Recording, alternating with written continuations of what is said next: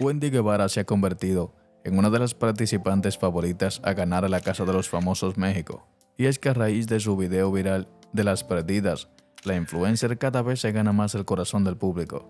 Sin embargo, muchos internautas han pedido la expulsión de dicha concursante por una insólita razón. Las estrategias y las traiciones cada vez están más latentes dentro de la Casa de los Famosos México, pero también las delicias no pueden faltar gracias a Wendy Guevara, quien se ha encargado de darle alegría al reality y dejar un poco de lado las riñas que existen entre algunos participantes. Es por eso que cada vez va ganando más popularidad, pese a que se ha demostrado que la gran mayoría de televidentes, como de internautas, quieren que Wendy Guevara gane la Casa de los Famosos México.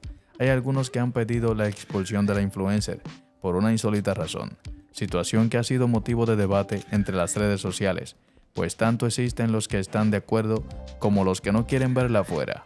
Un tren de TikTok se ha vuelto viral debido a que varios usuarios han pedido la expulsión inmediata de Wendy Guevara de la Casa de los Famosos México por una insólita razón y es que no es lo que parece, pues de acuerdo con estas personas, la participante se ha vuelto como una adicción y no pueden parar de verla, situación que ha afectado su vida diaria, donde varios comentarios apuntaban que les estaba pasando lo mismo. Saquen a Wendy de la Casa de los Famosos, me está quitando mucho tiempo de mi vida, por favor, Hoy nominen a la Wendy. Tengo que volver a mi vida normal. Les ruego que ya nominen a Wendy. Sáquenla. Por favor, necesito dormir a mis horas.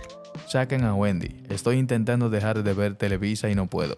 Cabe mencionar que hace un par de días se viralizó la supuesta lista del orden de expulsiones de la Casa de los Famosos México, donde desgraciadamente indica que Wendy Guevara habría abandonado el reality antes de la final por cuenta propia, situación que indignó a miles de fanáticos del programa, pues es una de las contendientes a ganar. Sin embargo, también se ha dicho que dicha enumeración es completamente falsa.